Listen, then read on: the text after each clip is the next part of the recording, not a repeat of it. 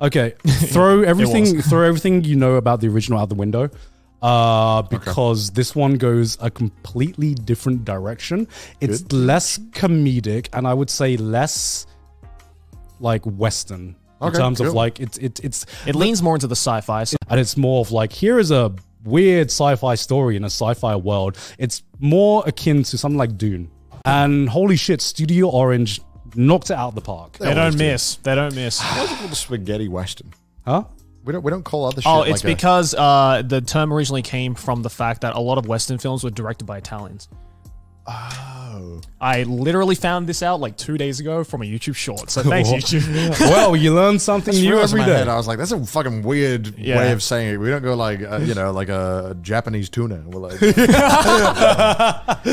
or like a, uh, yeah, it's weird.